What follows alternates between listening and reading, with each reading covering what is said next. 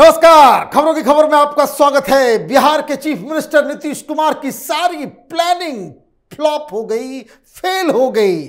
क्योंकि पटना में जो विपक्षी एकता के नाम पे कोई बहुत बड़ी मीटिंग होनी थी 12 जून को वो कैंसिल हो गया। क्योंकि नीतीश कुमार की हालत वैसी ही हो गई कि दूल्हा तैयार और बाराती और पंडित ही नहीं पहुँचे। सब लोगों ने कहा कि भाई नहीं जाना। और इसलिए आज ये खबर स्वयं मीडिया के सामने आकर मजबूरन देना पड़ा कि जो 12 तारीख की तथा कथित विपक्षी एकता की जो बहुत बड़ी मीटिंग होनी थी, उसे कैंसिल कर दिया गया है। अब आगे कब होगा, ये बाद में हम लोग तय करेंगे। नीतीश कुमार पिछले दरवाजे से प्रधानमंत्री बनने का सपना संजोए बैठे हुए थे। पिछले दो महीने से नीतीश कुमार और डिप्टी सीएम तेजस्वी यादव, ये हवाई जहाज़ से घूम घूम के बिहार की गरीब जनता के पैसे से ये राजनीति चमकाने में जुटे हुए थे। दो महीने की कवायद पूरी तरीके से डस्टबिन में चली गई। कोई रिस्पॉन्सिबिलिटी लेगा? बेरोजगारी इस कदर है इन लोगों की, काम चोरी इस कदर है इन लोगों की कि आप ढंग से एक मीटिंग नहीं बुला सकते, एक साथ सबको बिठा नहीं सकते, और प्रधानमंत्री बनने का सपना संजोए बैठे हुए हैं। बिहार में पुल गिरा है, ये पुल नहीं, एक शब्द में कहा जा सकता है कि भ्रष्टाचार का गढ़ बन चुका है नीतीश कुमार, ये सुशासन बाबू का बिहार सरकार। क्या हुआ? और किस तरीके से हाथ इधर उधर ऐसे वैसे करके मीडिया के सामने अपनी खिल्ली उड़ा रहे हैं, नीतीश कुमार, जरा ये सुनिए। नहीं, वो एक्चुअली बारह को जो करने वाले थे तो उसमें मैक्सिमम लोगों का समर्थन आ गया था। लेकिन एक का, और हम इनको तो कर दिए थे कांग्रेस वाले को तो वो अभी देख रहे थे तो उनका रिपोर्ट नहीं आ रहा था। एक का और आ गया था कि, सर, बारह को तो हम नहीं रहेंगे। फिर कल भी हमारी बातचीत हुई है। तो युवा को अभी अब बारह छोड़ दिया जाए, फिर हमने कांग्रेस पार्टी को कहा है कि आप लोग भी बात कर लीजिए और देख लीजिए, उसके बाद का जो डेट तय होगा तब तो बारह वाला नहीं होगा। बारह बारह वाला उसके लिए कि बात पटना में समझिए, देखिए बात ये है कि सबको हेड को आना है। अब कोई दूसरा रिप्रेजेंटेटिव आएगा, ये ठीक नहीं। तभी ना। इसलिए नहीं, बाकी सब लोग दूसरे सब पार्टी के लोग भी कहने लगे कि मान लीजिए उसके तरफ़ से कोई दूसरा आवेगा ये अच्छा नहीं रहेगा। क्योंकि कांग्रेस पार्टी बारे में चर्चा होने लगी कि उनके हेड नहीं आएँगे। आ, हाँ, कि उन लोगों का क्या दूसरे आ जाएँगे तो सब लोग कहने लगे कि नहीं साहब ये ठीक नहीं होगा। तो आना चाहिए तो कल हम कह दिए उनको कि ऐसा नहीं कोई दूसरा दिन होगा। तो जो कोई डेट तय होगा तब फिर बताए लाख छुपाने की कोशिश कर रही है ऐसे ऐसे करके। लेकिन मुँह से निकल ही गया कि कोई आ ही नहीं रहा था। कोई क्यों नहीं आ रहा था? क्योंकि शुरुआती दौर से ही ममता बनर्जी ब्लैकमेल कर रही थी। नीतीश कुमार को लगा कि कोई ऐसा खेल खेल दिया जाए कि जिससे हमारी राजनीति चमक उठे। दायित्व बिहार के मुख्यमंत्री की है और सपना प्रधानमंत्री बनने का है। क्या हुआ? सारे लोगों ने मना कर दिया। ये झूठ बोल रहे हैं मीडिया के सामने। राहुल गांधी ने सबसे पहले कहा कि मुझे नहीं जाना। फिर भी आस बंधी हुई थी, खड़गे जी आ जाएँगे। कांग्रेस पार्टी ने कहा कि खड़गे भी नहीं जाएँगे। हम अपने किसी बी ग्रेड के किसी नुमाइंदे को भेज देंगे। अब कांग्रेस पार्टी ने मना कर दिया तो मालूम चला फ़ोन आने लग गए। तो कांग्रेस के जो सहयोगी हैं, कहा? तमिलनाडु में। उन्होंने भी कह दिया, भाई राहुल गांधी नहीं आ रहे तो फिर मैं जाके क्या करूँगा? उन्होंने कहा कि मैं बारह तारीख को व्यस्त हूँ। भाई, दो महीने से जगह जगह जा रहे थे, घूम रहे थे, उसके बाद तुमने तारीख तय की। तब ये समझ में नहीं आया था। सबने हामी भरी उस तारीख के ऊपर, तब तो ये तारीख तय किया गया। और तारीख तय करने के बाद पटना में होर्डिंग्स लग रहे थे। नीतीश कुमार, प्रधानमंत्री, हैं, सुशासन बाबू। कटआउट तैयार वहाँ क्या होगा, नहीं होगा? सारी योजनाएँ, भाई, सात दिन ही तो बचे हुए थे। और उसके बाद कांग्रेस पार्टी ने झटका दिया इसकी। इनसाइड स्टोरी मैं आपको बताऊँगा। आपको समझ में आएगा कांग्रेस पार्टी ने क्यों नीतीश कुमार को बीच चौराहे पे बेइज्जत कर दिया, लंगी मार दी। गिर पड़े, राजनीतिक मैदान में पूरी तरीके से नॉकड आउट नीतीश कुमार की सारी कलाबाजी। तो स्टालिन ने कहा कि भाई मैं नहीं आऊँगा। मैं व्यस्त हूँ। खबर आ गई। अरविंद केजरीवाल ने भी कहा कि मैं भी नहीं जाना। यह बेकार की मीटिंग है। मैं तो अपना ग्यारह तारीख को रामलीला मैदान में अपने आप को प्रोजेक्ट करूँगा। भाई आम आदमी पार्टी तो पहले डिक्लेयर कर चुकी है कि 511 सीटों के ऊपर मैं लड़ूँगा, चुनाव लड़ूँगा और मोदी वर्सेस अरविंद केजरीवाल होगा चुनाव। कोई तीसरा चेहरा नहीं चाहिए। तो उसने भी मना कर दिया। सीताराम येचूरी ने भी कहा, बयान देकर के कहा कि ये बेकार की मीटिंग्स हैं। हमें लड़ना है कांग्रेस पार्टी के खिलाफ ही, केरल के अंदर। बाकी बंगाल में तो हमारे पास कुछ बचा नहीं, त्रिपुरा में कुछ बचा नहीं, और जहाँ मेन लड़ाई लड़नी है, वहाँ हमें कांग्रेस पार्टी से लड़ना है। तो अभी इसके बारे में बैठ करके चर्चा करने से बेहतर यह होगा कि एक बार सब लोग अपने अपने हिसाब से चुनाव लड़े और चुनाव के नतीजों के बाद क्या कॉम्बिनेशन बैठता है, तब ये विपक्षी एकता की मीटिंग होनी चाहिए। सीताराम येचूरी भी नहीं आने वाले थे। अब न सीताराम येचूरी आ रहे अच्छा दो दो लोगों ने और भी मना कर दिया। नीतीश कुमार, केजरीवाल, ये सब गए थे। हैदराबाद में बीआरएस के लीडर केसीआर से मिलने। उसमें तो हामी भर दी लेकिन उनके, उनकी भी खबर आ गई कि वो भी नहीं आ रहे। अजीब कहानी है। भाई दो महीने से कर क्या रहे थे आप। जब सब लोगों ने इस तारीख पे रजामंदी दे दी, उसके बाद फिर आपके साथ ये खेल कैसे हो गया? ये कह देने से काम चल जाएगा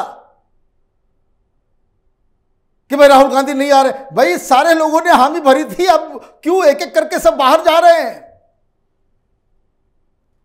पटनायक साहब के पास आप गए, उन्होंने साफ़ मना कर दिया कि मैं नहीं आऊँगा।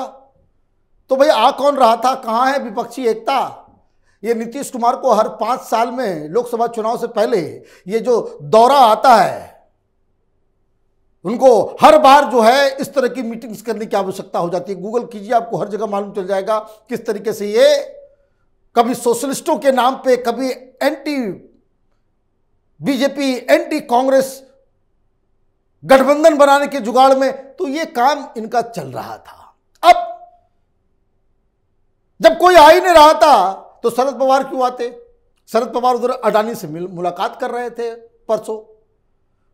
तो ये जो पूरी की पूरी जो कवायद थी, वो शुरुआती से ही पंक्चर हो गई। क्यों? क्योंकि कांग्रेस पार्टी ने नीतीश कुमार की नीयत को समझ लिया।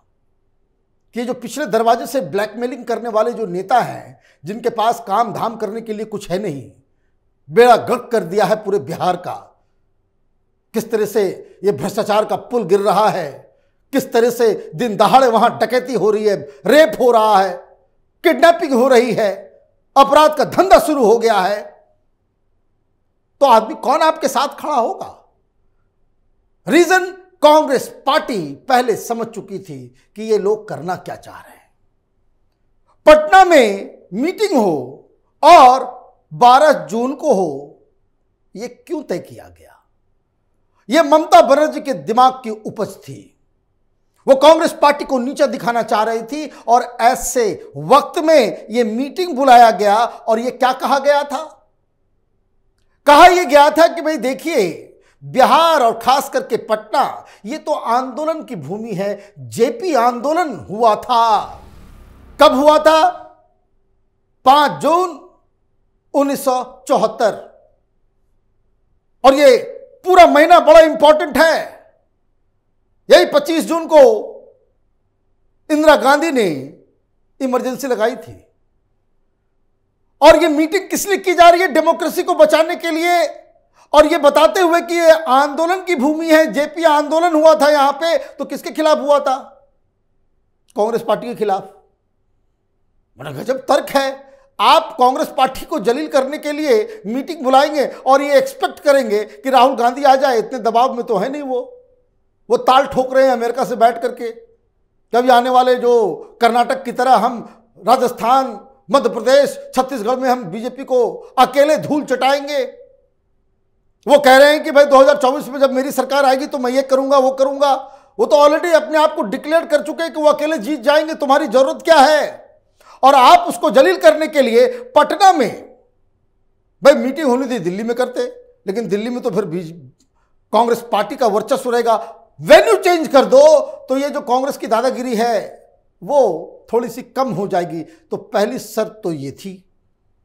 भाई पटना करो, और इसी महीने करो और इस नाम पे करो कि पटना तो जेपी आंदोलन की भूमि है। दूसरी शर्त कि जहाँ जो मज़बूत है, वहाँ वही लड़ेगा।